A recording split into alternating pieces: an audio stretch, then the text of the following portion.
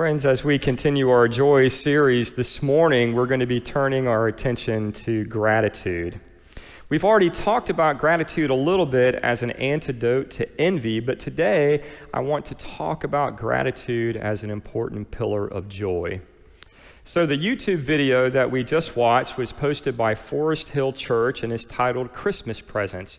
And I love it because it offers a perspective in which everything is a gift that creates surprise and wonder. Can you imagine living your life that way? Think of all the things that we take for granted and even feel entitled to.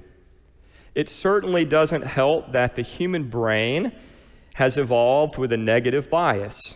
Psychologists have known for a long time that because of our evolutionary biology, we tend to focus on what is wrong dangerous, and lacking.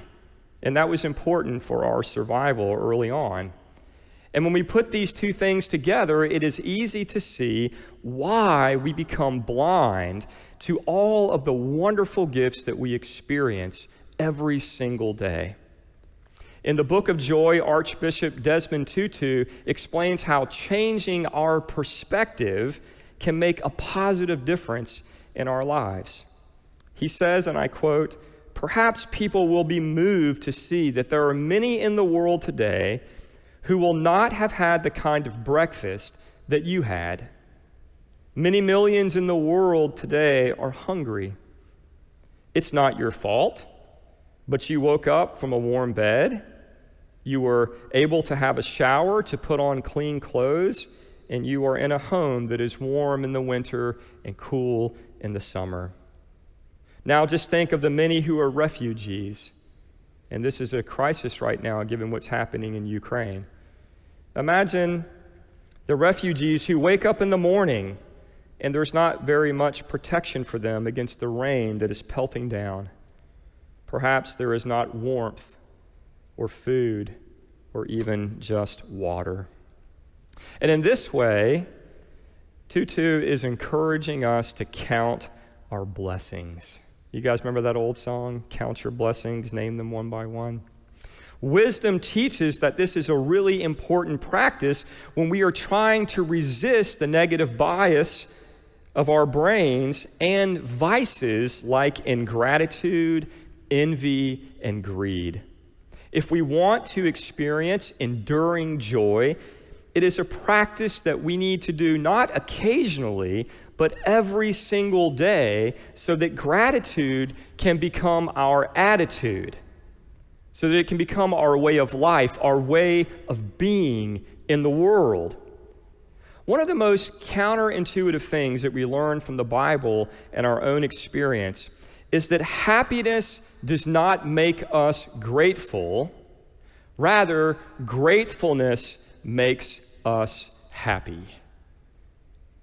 If you want to experience deep and lasting joy, it is crucial to get this point and let it shape the way that you live.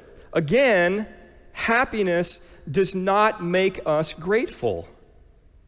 Because as soon as we get what we want and experience a little bit of satisfaction, we are already looking for the next thing that we want and do not have. And there's just not enough time to experience deep gratitude between fulfillment and the reigniting of desire.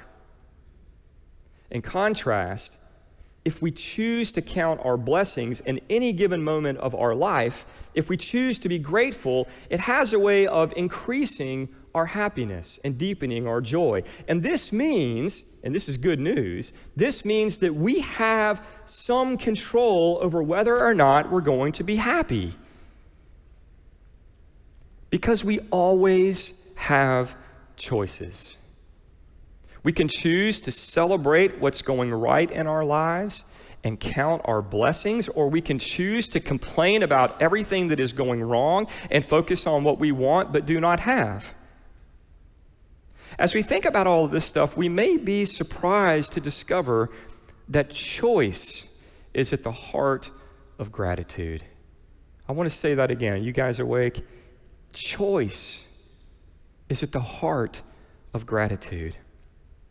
Every moment that we are alive is a gift because no one is promised tomorrow. Every moment is precious because it contains opportunity, possibility, and choice. And this means that we can choose joy even during times of great suffering. Now, this may sound strange and even offensive to some of you, especially if you're going through a hard time right now. And to be honest, I used to cringe at the phrase choose joy. Just ask Emma. This was a popular phrase that uh, came in, out of some uh, uh, speakers in women ministry, and I would hear this phrase, choose joy, and I would just cringe because I took it to mean when things are going bad, just brush it under the rug and pretend that everything is good. And if this is the way that we think about choosing joy, then we should reject it because it is dysfunctional insofar as it prevents us from seeing, accepting, processing, and resolving our problems and pain.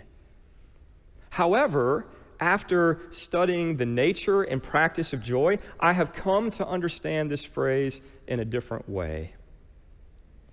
The idea of choosing joy can remind us that we always have choices regarding what we will focus on in any given situation. And what we focus on tends to multiply. Just test this out with your own experience. If we focus on what's going wrong, then more things tend to go wrong. If we focus on what we want and do not have, it increases our dissatisfaction. It makes us less fulfilled. In contrast, if we focus on what's going right, then things tend to get better. And if we focus on the gifts that we already have, it can deepen our sense of gratitude and fulfillment. Of course, this is not a magic trick, and I want to be very clear. I am not teaching the law of attraction as contained in self help books like The Secret. I'm not teaching that. Because again, even when things go sideways, we have the freedom of choice. If you know that to be true, somebody say amen even when things go sideways, even when things go terribly wrong, we still have choices. We can choose how we will think about our circumstances and how we will respond. And the way that we respond can either help us or hurt us.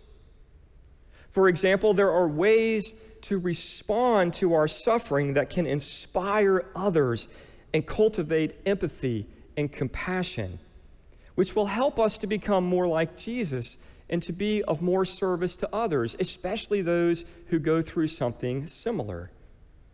And when I think about this idea, I think of Brenda LeBlue. If you knew Brenda LeBlue, you know that as she struggled with ALS, she remained positive every step of the way. And it inspired me so much in my own ministry to be a better man. In addition, we can either see our enemies as obstacles to our happiness, or we can see them as our greatest spiritual teachers. Just let that sink in. We can see our enemies as obstacles to our happiness or as our greatest spiritual teachers because they are people who give us an opportunity to practice the teachings of Jesus so that we can become more like him and experience abundant life. Have you ever prayed for patience and then God put an annoying person in your life? Right? You got to have an opportunity to practice, folks. And the promise of the gospel is not that we won't suffer, but that we do not suffer alone and that God will redeem our suffering and that ultimately we will experience abundant life, which is to say, true joy. A joy that can be shared with others, but that no one can take away. And a great example of this can be found in the story of Anthony Ray Hinton. You may have seen the movie about his life, Just Mercy, or read his memoir, The Sun Does Shine How I Found Life and Freedom on Death Row. In 1985, there were three separate armed robberies targeting fast food restaurants in Birmingham, Alabama. Two managers were killed in the process, and one survived. The surviving manager picked Hinton in a photo lineup. He was arrested and given a racist public defender who provided woefully inadequate counsel. Even though Hinton's boss testified that he was at work with him during the times that these crimes were being committed, the jury ignored the testimony, convicted him on two counts of murder, and sentenced him to death. He appealed to higher courts twice and was denied. We now know that he spent 30 years on death row in a five by seven foot cell in solitary confinement for a crime that he did not commit. And in the process, he watched 54 prison mates walk the green mile to the execution room. This was painful because while incarcerated, he became a counselor and friend to these men, and not only to these men, but also to the prison guards who begged his lawyer to get him out. The Supreme Court finally released him on April the 3rd, 2015. And if anybody had a right to be angry, if anybody had a right to hold a grudge, to be resentful, to be unforgiving, to be ungrateful, it would seem to be Hinton. But when interviewed by the popular show 60 Minutes and asked if he was angry, Hinton said, No, I have forgiven the people that sent me to jail. He explained, If I am angry and unforgiving, they have taken the rest of my life. Showing us how people can choose joy even in the most horrible circumstances. He said, and I quote, the world didn't give you your joy, and the world can't take it away. You can let people come into your world and destroy it, but I refuse to let anyone take my joy. I get up in the morning and I don't need anyone to make me laugh. I'm going to laugh on my own because I have been blessed to see another day. And when you are blessed to see another day, that should automatically give you joy. And I just want to read the remainder of that quote because it's even more powerful. He says this I don't walk around saying, Man, I ain't got a dollar in my pocket. I don't care about having a dollar in my pocket. What I care about is that I have been blessed to see the sunrise. Do you know how many people had, a, had money but didn't get up this morning? So, which is better? To have a billion dollars and not wake up, or to be broke and wake up.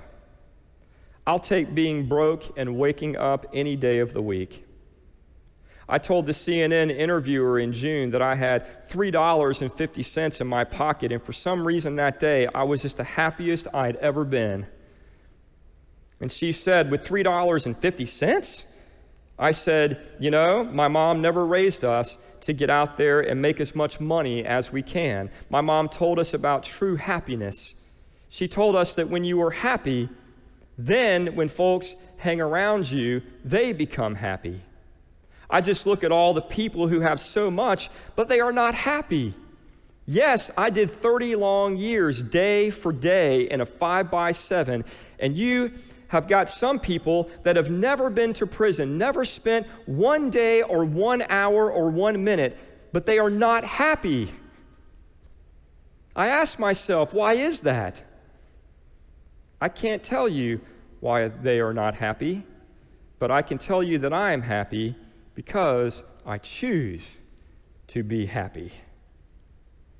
Does it make sense now? Even when it seems like all of our freedom of God is gone and all of our choices have been taken away, God can help us to see possibilities and choices contained in each moment. Even when it feels like finding a needle of joy in a haystack of trial and tribulation, joy can help us see the good things in life and elevate it right before our eyes. And understood in this way, joy does not depend on what happens to us, but is a grateful response to the opportunity contained in each moment. I want to say that again because it's so important.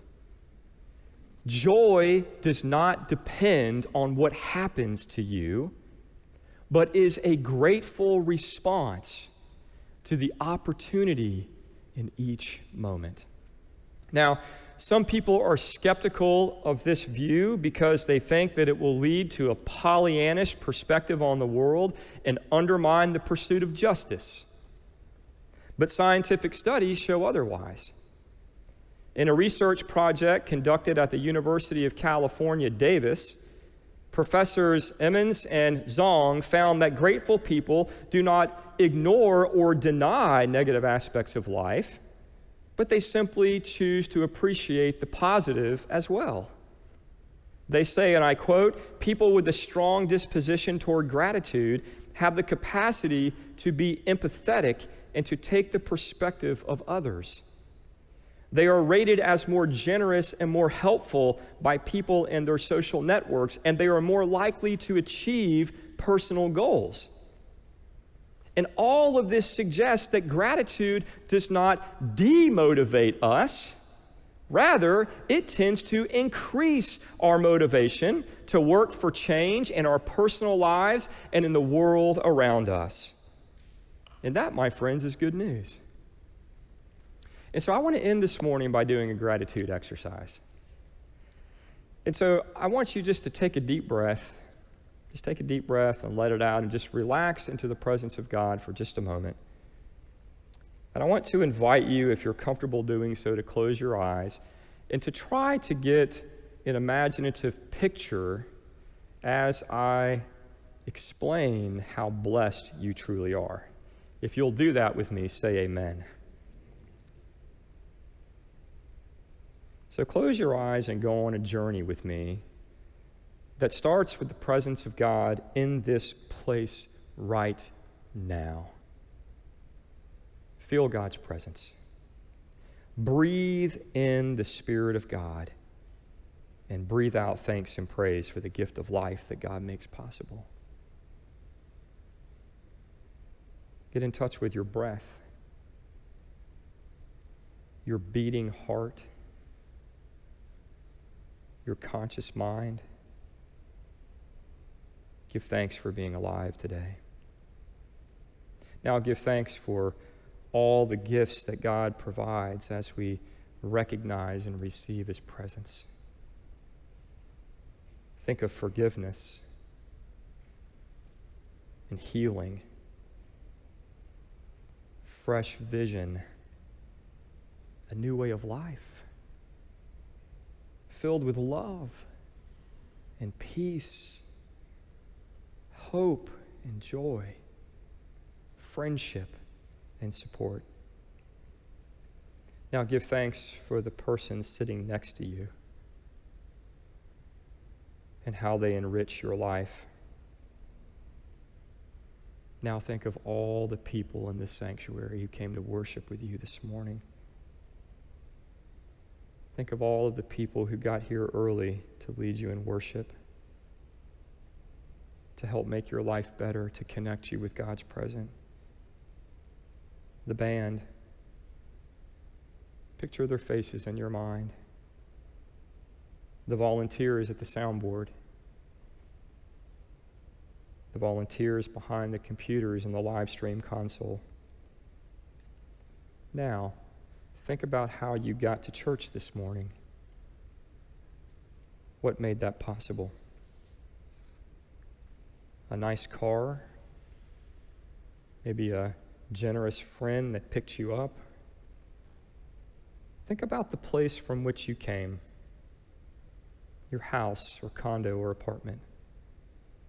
Think of all the comforts that this place provides you shelter from the storms, air conditioning, doors that lock for safety, the view out your window, clean water to drink, and warm water for showers. All of the appliances that make your life easier. Open the refrigerator door, open the pantry door. Look at all of the food. Look at the comfy furniture, the warm bed, the soft sheets, and the people and pets that live with you. Now think of all the things that have made this possible a conscious mind, an able body that allows you to get up and move around to be productive at work. Give thanks for the job that has provided for your family or is providing for your financial needs. I'll take another deep breath. And as you breathe out, just say, Thank you, Lord. Thank you. Friends, I could go on and on because we have so many good things in life. And what's interesting is that they're all connected, just as we are all connected. We are all connected in a web of abundance. And if you want to improve your mood today, if you want to tap into some joy and experience some happiness, I invite you to continue this exercise at home and see how many more connections you can make. My guess is that you could probably come up with four or five times more than what we've done this morning. As the old song says, count your blessings Name them one by one, and it will surprise you what the Lord has done. Amen.